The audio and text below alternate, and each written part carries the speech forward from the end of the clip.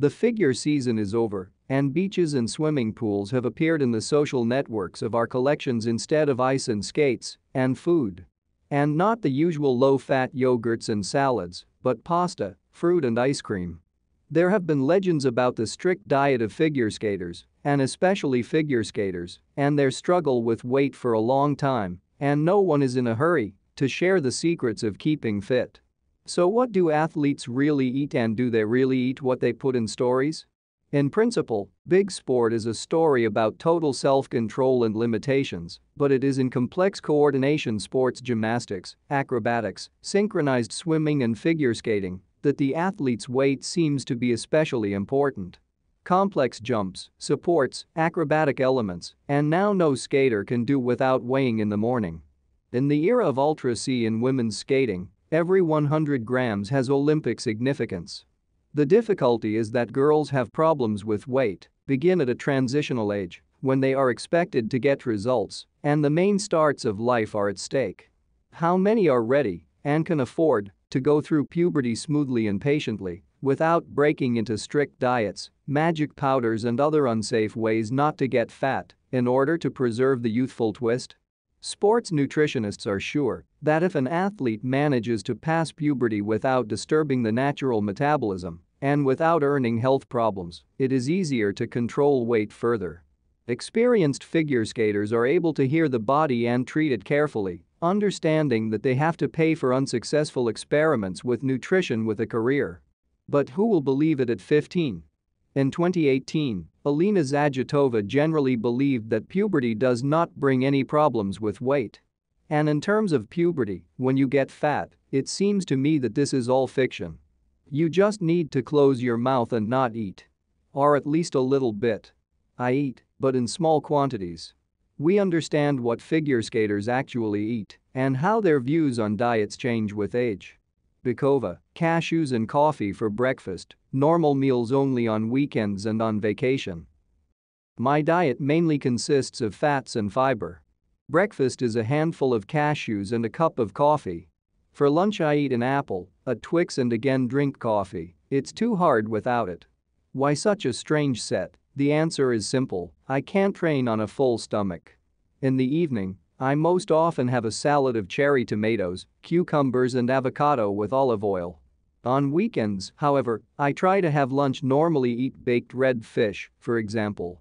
On vacation, of course, I eat more varied, but precisely because of this, I just can't afford to just lie on the beach. I have a tendency to be overweight, and as soon as I add meat, fruit, cheese, and fish to my diet, I start eating more then I have to compensate for this and run for 30-40 minutes every day. But I refuse sweets even on vacation, maybe that's why I don't get better so much on vacation, she said sports.ru European champion in pair skating Alexandra Bykova.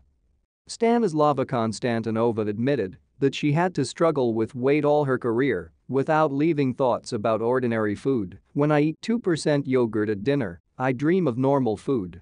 My parents laugh at me and call me a slave of the stomach. Stanislava shared her menu for SPORT24, in short it looks like this. Breakfast, buckwheat or oatmeal, whole grain, on water, porridge, soft-boiled egg and cheese, or a piece of cheese and buckwheat bread, toast with avocado.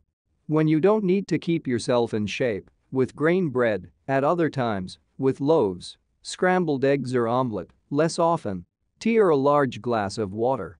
Second breakfast, coffee and yogurt without additives, without sugar. Rarely glazed cheese or a piece of chocolate. Lunch. Soup, piece of meat, cucumber, buckwheat with meat and salad, tomatoes cucumbers or just cucumbers. Between lunch and dinner yogurt. Supper. Kefir or yogurt. Konstantinova recalls daily weigh-ins before training and how persistently the coaches advised her to lose weight. Therefore, even after standard work in the gym and on the ice, she went out for a run every day for an hour or even more. The hardest thing, according to her, was at the end of the season. Sadness can cover, and then the weight can creep up to 55-56 kilograms. This is very bad. World champion in dancing Victoria Sinitsina recalled that the most acute issue of weight arose for her in America in 2014 She and Nikita Katsalapov went to Michigan for two years to coach Marina Zueva. Then there were hungry days and the famous rice diet of figure skaters, even food wrap was used. To eat, it was necessary to finish with it. In America, the food is completely different. I ate the same way as in Moscow, but I immediately noticed that you can get better there even from the Holy Spirit. Marina constantly put me on the scales, I was possessed by fear of them. Before weighing, I took off all the hairpins, elastic bands, chains, ran to the toilet so that, God forbid, an extra gram would not appear. I was crying. When the ice training was over and evening came, I put on pants, three sweatshirts, and once a week I also wrapped myself in a film and ran continuously for an hour. I arranged a hard drying for myself. Yes, I did it only once a week, it's not very good for the heart, but it helped me a lot. Anorexia or other eating disorder has not reached, I was on one diet, on another, on the third, then I started eating one rice. Then I just went crazy on this topic, starting to weigh myself four times a day. This is not normal for a person. Thank God, I have a head on my shoulders and I have not reached the real problems. Soon she excluded many foods and began to eat a little differently. Marina told me like this, do you want french fries? Eat one stick. Do you want chocolate? Break off the square and eat it. If something is banned forever, I will have a breakdown. In fact, I did not limit myself radically in something, I just began to eat rarely and a little. In the diaries of Sinitsina of those years, however, you will not find any chocolate. But the recordings themselves, posted by Vika in the Telegram, give a rare chance to peek at what Olympic-level athletes actually eat. Smoothies, salads from fresh vegetables, lean protein in the form of fish or chicken, restriction of carbohydrates, and, most importantly, portion sizes are a fairly predictable recipe for keeping fit, not only for figure skaters. Today Victoria has moved away from strict diets and found an individual style of nutrition without radical restrictions. Her choice is interval fasting, in which meals take place in a strictly allotted window. In the case of Sinitsina, this is scheme 18-6, she eats 1-2 times a day for 6 hours, the remaining 18 hours without eating. I don't limit myself in anything. Of course, I don't eat pizza, pasta, potatoes, or fast food all the time, this happens very rarely. Most often, salads, meat, fish, fruits. I have a crazy sweet tooth, I love chocolate. I can allow something unusual after the competition, you can say it's a way to celebrate the results, relax. You prepare for competitions for a month, keep yourself in shape, and then exhale, you still lose weight under stress, so after tournaments you can easily afford everything. Juices are too sweet for me, I will choose them only if there is nothing to drink at all. I stopped buying soda, I only drink water or mineral water with gas. Athletes have an expression that soda makes their legs sit down, they get clogged up quickly, get tired. And at some point I quit. I thought it would be hard without these drinks, but I'm out of the habit, I don't even want to buy again, Sinitsina said. By the way, life in America has taught Victoria to drink cold tea and coffee. Cold black coffee is her favorite drink in the heat. The same magic film that Sinitsina mentioned, apparently, is also in the arsenal of the Olympic champion 2022. In the photo, which Anna Shcherbakova posted in early February, there was a roll of film and cans of sports nutrition. One of them guesses Squeezy, German protein powder, which was drunk by Yulia Lipnitskaya during the Olympic season 2013-14.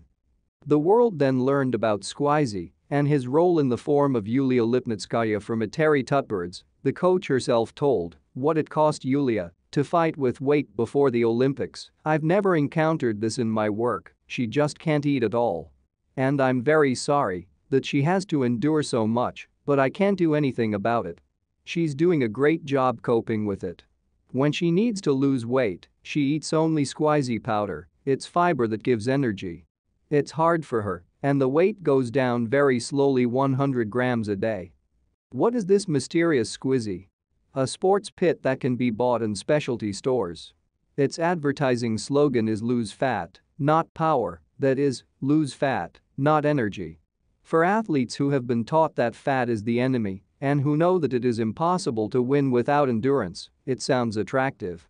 The manufacturer's website says that the powder gets rid of fat without loss of muscle mass, serves as an additional source of energy, protein, essential micronutrients, reduces consumption to 900 kilocalories per day, and its composition allows you to use the product instead of conventional nutrition.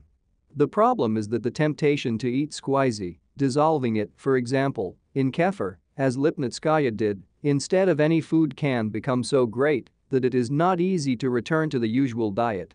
As a result, instead of being overweight, figure skaters receive worse diagnoses, for example, anorexia in the case of Lipnitskaya, and general eating disorder, RPP, which many suspect.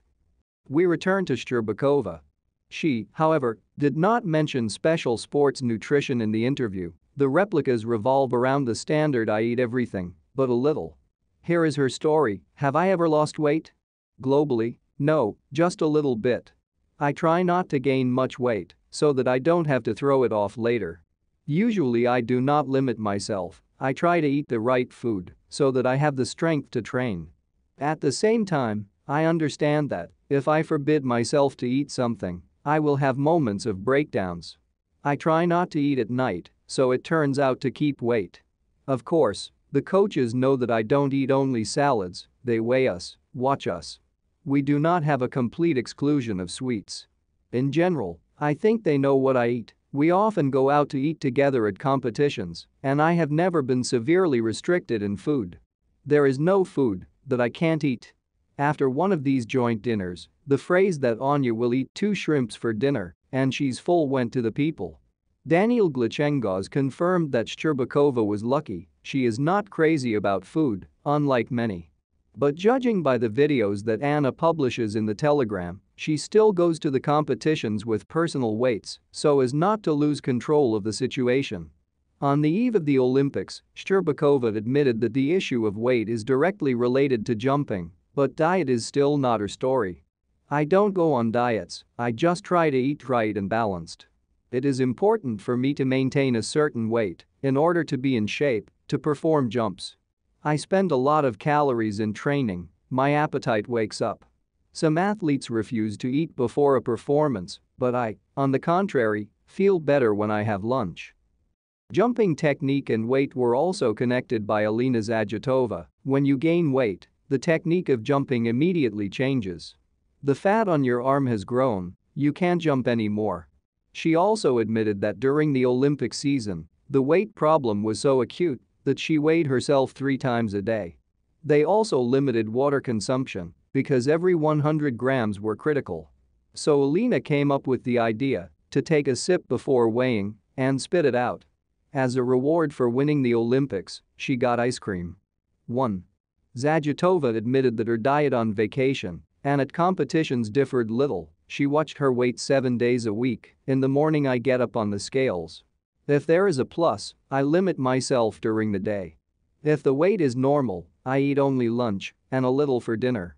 I hardly have breakfast. But Sasha Trusova, apparently, has a calmer relationship with food. She says she eats whatever she wants, there is no diet. However, according to her, it is better not to eat certain foods at night, it is better to pamper yourself in the morning. I don't have a special diet, but I try to eat more protein food. There are no prohibitions as such. But I don't like fast food myself and am completely indifferent to cakes.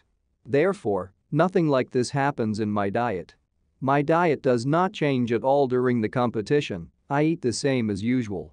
I don't know who does it, but my mother most often cooks food for me. Traditional dishes? Basically, cottage cheese dishes. For example, cheesecakes or casserole.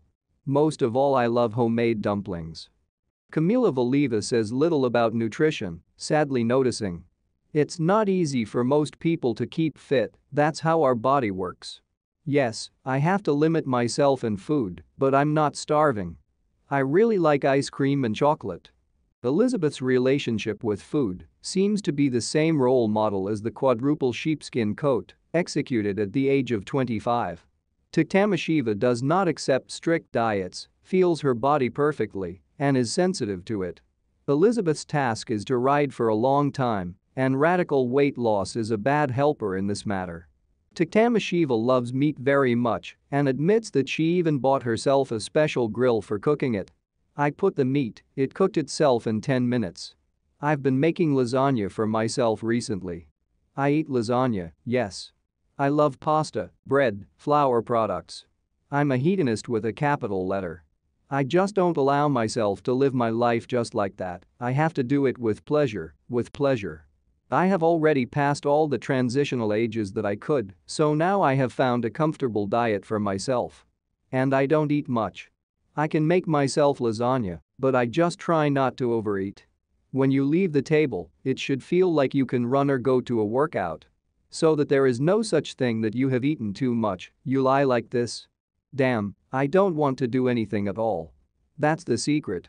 You wait for 5 minutes, and then you start doing some things, and realize that you are full and not full, and there is energy. Fresh photos of Tuktamasheva from the training camp in Armenia confirm that Caucasian cuisine does not interfere with the quad. Grill in the kitchen and at Evgenia Medvedeva's. It allows you to cook meat without adding oil, and protein is still the basis of Medvedeva's nutrition, for which it is not difficult to perform in a Pyeongchang costume even now. According to her, it was necessary to resort to extremes in the diet only during the Olympic season, and then not without the help of a nutritionist the relationship with food improved. There are no taboos in the menu, desserts, side dishes, and not diet soups flash and stories, especially Medvedeva loves borscht and solyanka. In competitive times, the diet was simpler, with a mandatory carbohydrate for breakfast, a classic lunch of cutlets and soup, and a traditional salad for dinner for skaters. Daniel Gleikhengauz, when he said that he did not know a figure skater who did not like sweets, clearly meant Medvedev. There was often a chocolate bar in her training bag next to her skates, Zhenya's secret is to eat this chocolate before, not after class, then the dose of sugar did not affect the figure in any way. Before the Olympics, however, she still had to shrink down as much as possible. At the Olympics, Medvedeva weighed 1.5 kilograms less than her usual weight. It was a difficult period, but I had no other way out. Otherwise, I just wouldn't have rolled out that program. I didn't have too many muscles then, and in this case the body retains water very much. You become heavy and kind of swollen. Therefore, everything was really very tough and caused decent damage to the body. After severe restrictions, athletes often rush to the other extreme, and it is possible to close the refrigerator only with an incredible effort of will. Medvedev did not escape this either. I understood that I could cure all my complexes about food in only one way by allowing myself to eat. When you keep yourself on a very strict diet for many years, and in fact you live half-starved, it takes time to understand that if there is food in the refrigerator, it is not necessary to stuff it all into yourself at once. She's not going anywhere out of this refrigerator. As soon as I laid it all out in my head, the weight began to return to normal. Not only our skaters have problematic relationships with food. Gracie Gold, the main US bet on Sochi 2014 gold, admitted that she suffered from a severe eating disorder and practically lived on laxatives.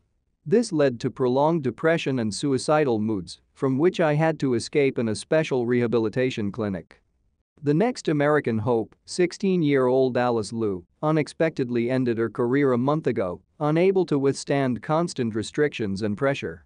Liu decided that participation in the Games and the bronze medal of the 2022 World Cup is quite enough and she will finally be able to have plenty of delicious food.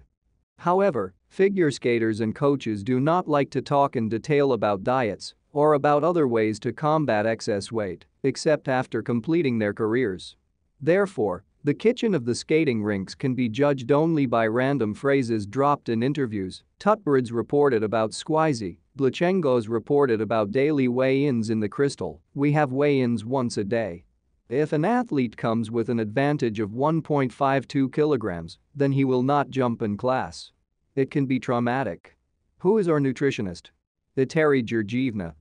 They say that the results of the weigh-ins in the Crystal are entered in a special notebook, which disciplines athletes stronger than any coach. Gleikhengauz also calls a myth the persistent opinion that figure skaters don't eat anything. In fact, They eat even more than ordinary people. They have a growing body, no one forbids them to eat. It is clear that you always need to monitor the sugar content, but no one forbids a chocolate bar. It's about the fact that they can eat a whole cake or 200 candies, that's the problem. And the food should be evenly distributed, it should be moderate. It is also desirable that dinner be before 6 in the evening. Eteri speaks extremely harshly about the weight of athletes. There is nowhere without weights on the rink, an athlete's face, in her opinion, not from fatigue or incorrect technique at all. I don't follow their diet. I weigh them. I'm not even weighing it, I'm just asking to be sent to me. It is advisable to weigh yourself every day because it is much easier to solve the problem at the initial stages than when it is already 2-3 kilograms and you really need to lose weight, and when it is 200-300 grams, it's nonsense. But today 200 grams, and every day 200 grams, what will it be in 10 days? I'm trying to explain, a kilogram is nonsense, take a bag of milk, put it in your pocket and run. The athlete loads the body more than necessary, injuries, muscles, ligaments. Fatigue, which will accumulate more, because it's a whole bag of milk. And then we talk, fatigue fracture, so I've been training a lot. Or maybe she let go of weight, lost weight, let go of weight, lost weight. The undercools started because of the weight, because of fatigue when they lose weight, and not because of insane loads. Are they on diets in men's skating, and if so, on which ones? Svetlana Sokolovskaya, coach of Mark Kondratyuk and Alexander Samarin, told about the attitude to weights and sweets. I have no problems with weight in terms of control for both boys and girls in the group, I have everything here on trust, I do not weigh my athletes. It's just that, if I see some kind of overkill, I can't at some point say something like it's become too much. Well, they answered me, that's it, I understand, we'll fix it. After a vacation, they usually gain a little, of course, but then they quickly get into shape. Does the weight interfere with jumping? I have a slightly different psychology. If you manage to do all my tasks, then it's not so important what your weight is, well, within reasonable limits, of course. Do you like to write in the preponderance, that is, spend twice as much energy, strain harder, well, why not? Although they all see themselves in the mirror, on the set, well, they already look after themselves. We shoot videos at the ice rink every day, they see how they look from the outside. I can hint that, if you lose half a kilo, a kilogram and a half, it will be easier. But I have an adult approach here. No one will run after them and control them, it's up to them, after all. And so, yes, from the first day the skater knows that I don't have a weight frame. People are different, someone is fatter, someone is thinner. Are you coping? Are you comfortable with your body yourself? Well, that's great. I have a daughter, and I remember that there was a period when she began to recover as a teenager. Complexes began. And what would I tell her? It would only make things worse. That's why I always told her that she was my best.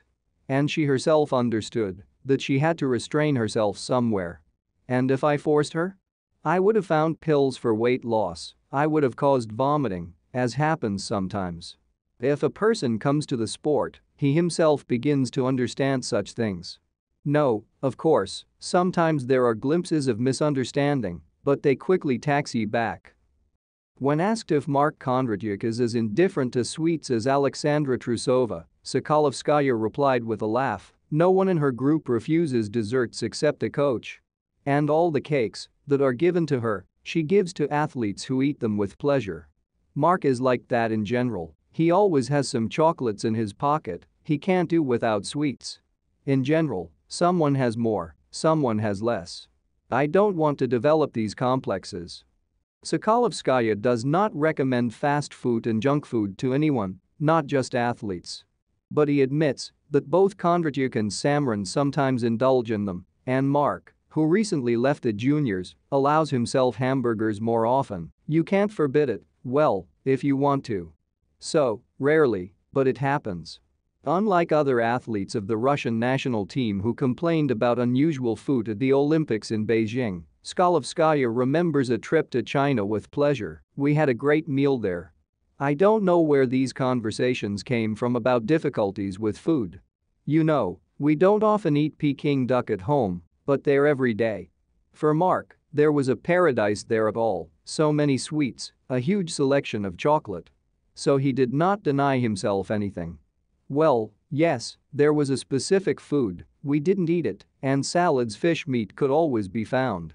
I wonder if the day will come when Svetlana Sokolovskaya's approach will be adopted by other Russian coaches, realizing that the famous don't eat from Maya Plisetskaya did not refer to girls and girls at all.